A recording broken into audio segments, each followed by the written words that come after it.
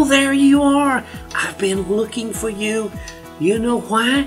Because God told me to tell you that He loves you and He has something very special for you today.